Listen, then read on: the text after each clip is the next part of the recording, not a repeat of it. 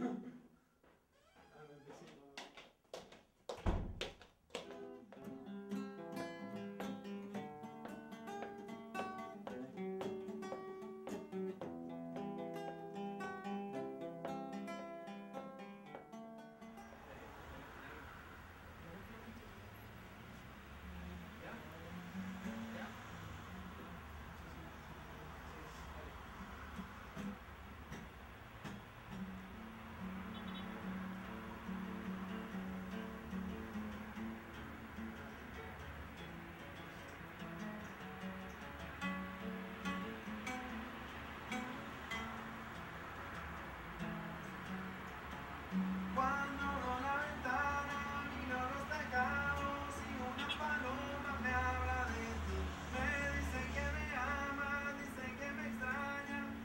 que te morías por mí.